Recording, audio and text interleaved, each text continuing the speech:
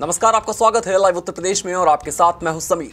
कांग्रेस सरकार के दिग्गज नेता और जब केंद्र में कांग्रेस की सरकार थी, तब देश के पूर्व वित्त मंत्री पी चिदम्बरम इस वक्त मुश्किलों के दौर से गुजर रहे हैं। कारण यह है कि उनका और उनके बेटे का नाम आईएनएक्स मीडिया केस में शामिल हुआ है।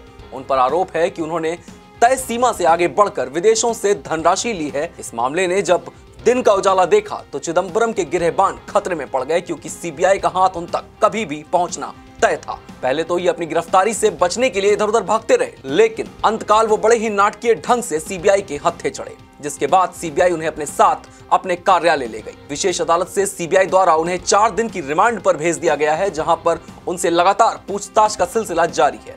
देर रात 12 बजे तक उनसे पूछताछ चली। रात तक चले पूछताछ के दौर के बाद वो सो सके। हालाँकि वे सुबह सात बजे से पहले ही उठ गए, जिसके बाद उन्होंने चाय पी और चाय पीने के बाद उनसे दोबारा पूछताछ का सिलसिला शुरू हो गया। गौरतलब है कि सीबीआई की विशेष अदालत ने गुरुवार को पूर्व केंद्रीय मंत्री पी चिदम्बरम को पूछताछ के लिए सीबीआई की चार दिन की हिरासत में भेज दिया था।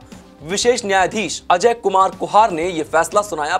पहले तो उन्होंने दोनों ही पक्षों की दलीलें सुनी और दलीलें सुनने के बाद उन्होंने फैसला सुरक्षित रख लिया, जिसके कुछ समय बाद उन्होंने फैसला सुना दिया। अदालत ने अपने फैसले में यह भी कहा कि पी चिदम्बरम के घर के सदस्य और उनके वकील उनसे मिलने के लिए स्वतंत्र होंगे। सीबीआई की अगुवाही करते हुए सॉलिसिटर जनरल तुषार मेहता ने वरिष्ठ कांग्रेस नेता को हिरासत में लेने की मांग की। ऐसी और भी खबरों के लिए जुड़े रहिए हमारे साथ और देखते रहिए लाइव उत्तर प्रदेश।